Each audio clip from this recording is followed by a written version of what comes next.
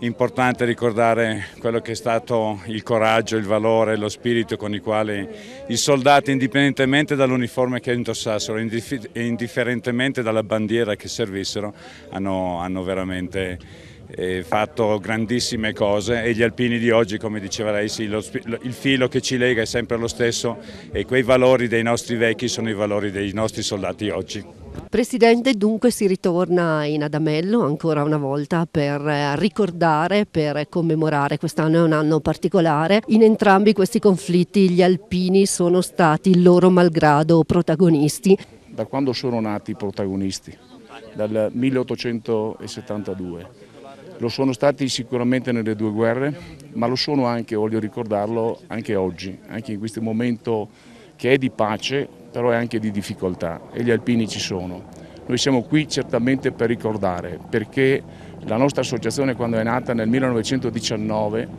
ha avuto come primo elemento e come elemento fondante quello di non dimenticare,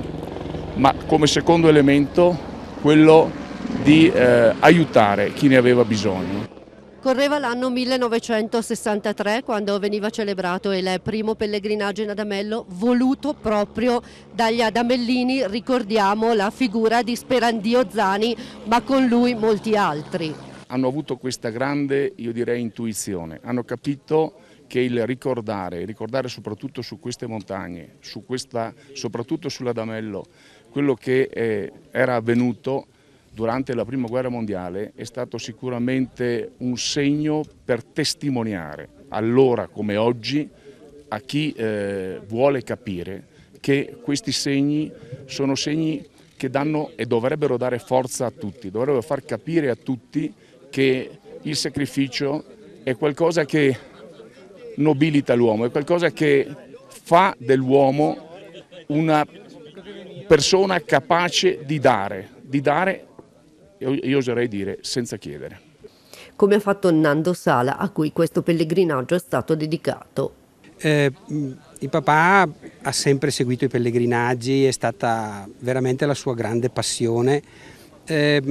lo faceva davvero eh, in silenzio e credo che se sapesse che oggi gli dedicano un pellegrinaggio probabilmente quasi quasi non si arrabbierebbe, però sicuramente non sarebbe qui presente. Quello aneddoto che ogni tanto racconto è che abbiamo mh, raccolto un po' le memorie del papà eh, in un libricino e mh, tra queste ho voluto lasciare uno spazio anche al pellegrinaggio in Adamello. Eh, quando è stato il momento di cercare una fotografia che ritraesse il papà al pellegrinaggio non sono riuscito a trovarla